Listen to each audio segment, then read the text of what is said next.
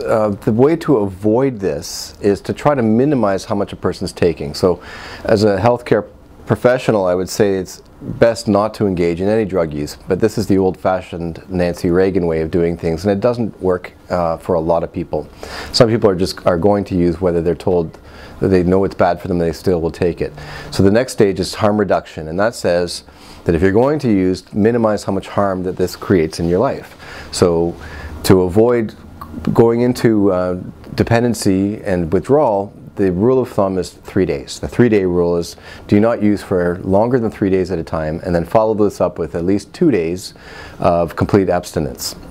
This is a, a trick that people can use to avoid uh, the, these uh, physiological changes that occur in their brains.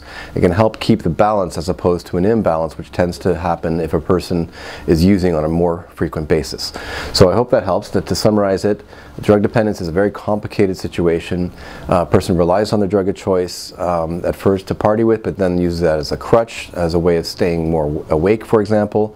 And um, if they're not using it, um, if they're not being careful and if they're using it too frequently throughout the week, uh, the dependency can sneak up on them. However, to, the best way to avoid this is the three and two rule, and this is to use the maximum of three days and then to follow this up with two days of total abstinence.